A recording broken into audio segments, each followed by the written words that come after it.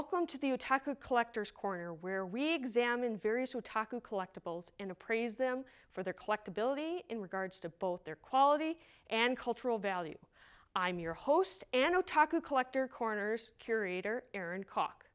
Now, the watch we're looking at today is part of a collaboration between Japanese watchmaker Seiko and IEI, now, before we take a closer look at this wonderfully symbolic and high quality watch, it's important that we understand a bit of the series backstory that it takes inspiration from so that we can understand some of the um, artistic design elements that went into developing the watch.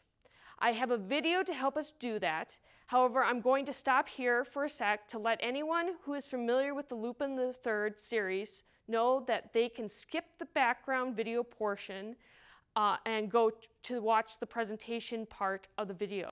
If not, let's take a look. Lupin III Origins. Lupin III is a 50-year-old franchise that was first published as a manga in 1967 by creator Kazuhiko Kaito, also known as Monkey Punch. Since its debut, it has spawned three manga series, seven anime series with a total of 317 episodes, 13 movies, 6 OVAs, and 23 video games. Lupin III The Story Lupin III follows the adventures and endeavors of Master Thief Lupin III, grandson of author Maurice Leblanc's French gentleman thief Arsène Lupin, and his gang. The Colored Jackets Throughout Lupin III's run, Lupin's jackets have periodically changed color, with colors ranging from green, red, pink, and blue. These jackets are often used as an identifier of the various seasons in which they are showcased. The First series, known as the Green Jacket series, aired in 1971, with the Red Jacket series taking place in 1977, and the Pink series airing in 1984 and ending in 1985 before taking a 30 year hiatus. The series resumed in 2015 with the Blue Jacket series for two more seasons before switching to the first series Green again in 2022. Lupin III Walther P38 Like James Bond, who loves his Walther PPK, Lupin III also loves his Walther P38, which has been his gun of choice for over 50 years. If you watched the video, I hope you enjoyed that short presentation. Now that we've had that brief introduction, let's dive in, shall we? The watch was released in 2015 in celebration of Lupin III's returning to TV after 30-year hiatus. The stylish exterior of the analog quartz Seiko watch is reminiscent of the scope of a rifle and is equipped with a high-performance chronographer mechanism. The surface of the timepiece is made of Hardlex crystal, which is stronger than normal crystal, which makes it scratch resistant, as you can see here. Um, the blue granite, which is reminiscent of Lupin's blue jacket, is the base color of the watch.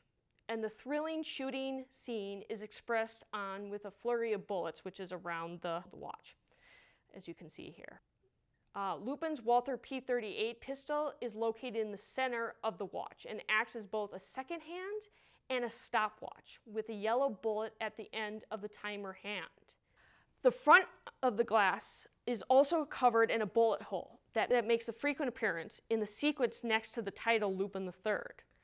A sparkling treasure diamond to accentuate his master thief status is set at 3 o'clock to represent the Roman numeral 3 in his name.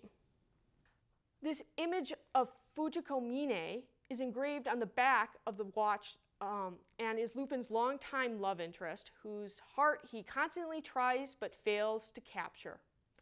Due to the band being in the way, we cannot show you this actual engraved image. The watch is a special limited edition, so only 3,000 pieces were made, so it's quite rare. The watch is 1,160 out of 3,000, which is engraved on the back. The watch comes with either a stainless steel or a leather band. In this case, I have the stainless steel band. It is currently available from collectors for around 400 or $500. So that's all for this week's From the Otaku Collector's Corner. This is Aaron Cox signing off until next time when I invite you to join me to see what new treasures I have to show you from our collector's vault. I'm really excited to see you next time. Can't wait to show you.